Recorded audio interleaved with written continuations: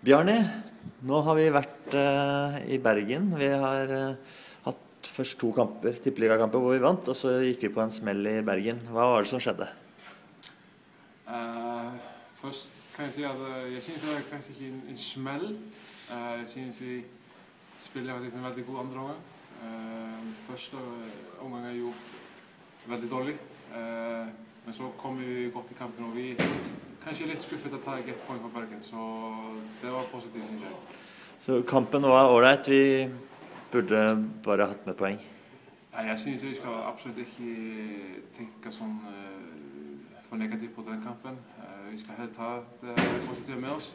Og det er at, uh, vi er skuffet. Vi er skuffet etter det. Og det må vi bare ta med oss i neste kamp.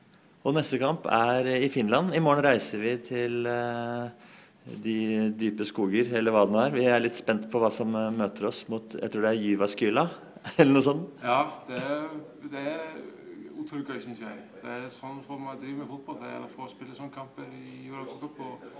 Så det gleder jeg og, og laget eh, seg veldig til. Hva, hva møter oss, tror du? Har vi noe peiling? Nei, jeg vet veldig lite om finsk fotball, men uh, de ligger sånn i cirka midten av tabellen. Og, så jeg tror dette er en uh, veldig bra motstander, tror jeg. Og, og, vi reiser noen dager før. Hvorfor det? Uh, det vet jeg ikke, men det syns jeg er fint. At vi reiser ikke dagen før, så vi får litt tid til å få flyet sånn ut av kroppen og, og forberede oss veldig bra for kampen. Så det er fornøyd med.